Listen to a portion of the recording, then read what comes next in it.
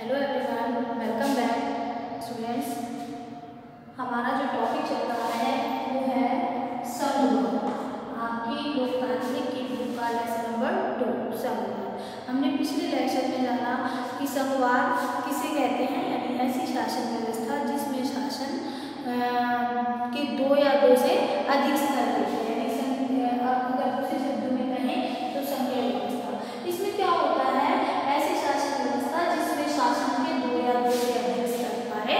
जाते हैं। फिर हमने जाना एकात्मकवाद के बारे में क्या होता है, इसमें ये ऐसी शासन व्यवस्था होती है जिसमें शासन का एक स्तर होता है, यानी सारी शक्तियाँ एक के पास केंद्र के पास ही रहती हैं, बाकी शक्तियाँ उसके अधीन रहकर कार्य करती हैं। फिर हमने जाना शक्तियों के बंटवारे के बारे में कि संघीय शासन व्यवस्था में जो शक्तियों का बंटवारा है, किस तरह से किया जाता है, केंद्र सरकार, राज्य सरकार और स्थानीय सरकार में बंटवारा किया जाता है। फिर संघीय शासन व्यवस्था। संघीय शासन व्यवस्था वही जिस, जिसमें शासन के दो या दो से अधिक स्तर पाए जाते हैं। आज हम इसी के बारे में जाने कि क्या कारण है कि दुनिया के बहुत से देशों में संघीय शासन व्यवस्था को अपनाया गया है। ठीक है, दूसरे शब्दों में संघीय शासन व्यवस्था की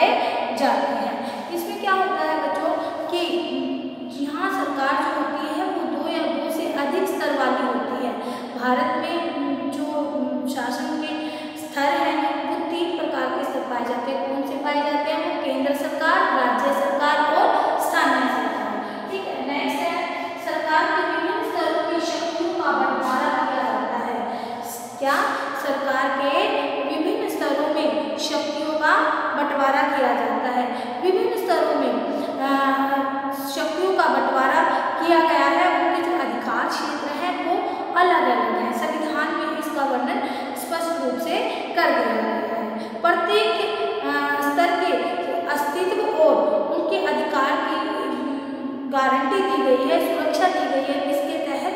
संविधान के तहत। समझ में आ गया ना? जो विभिन्न स्तरों की सरकारें हैं, उनके बीच शक्तियों का बंटवारा कर दिया गया है और संविधान ही उनके सुरक्षा और उनके अस्तित्व की गारंटी देता है।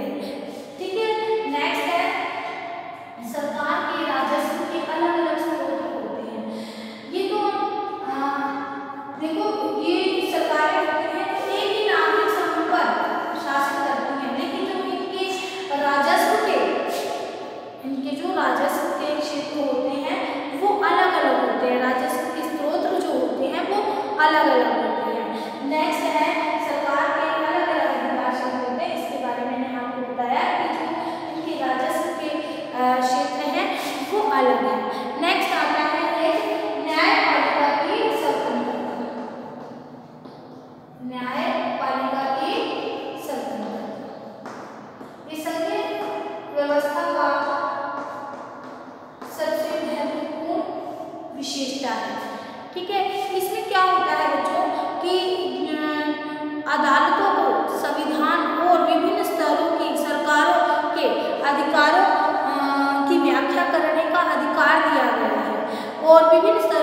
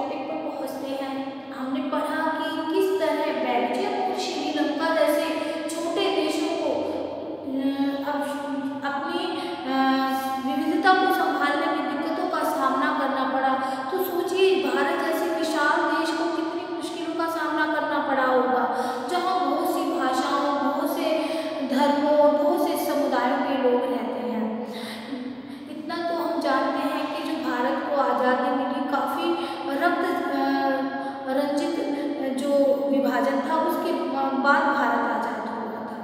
आज़ादी के कुछ समय बाद ही अनेक स्वतंत्र रजवाड़े भारत में विलीन हो गए। पाँच सौ बासठ रियासतें थी जो भारत में शामिल हुई थी।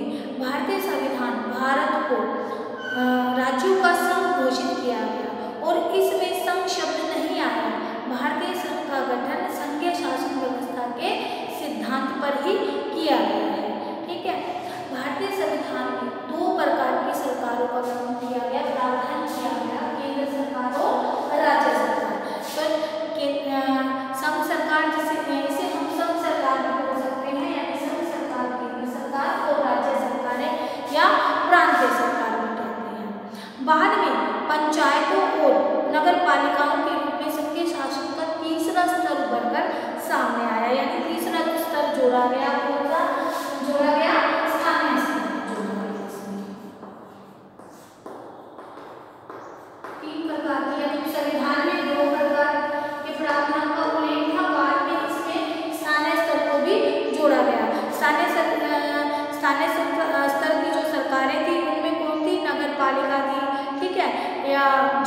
परिषद है पंचायतें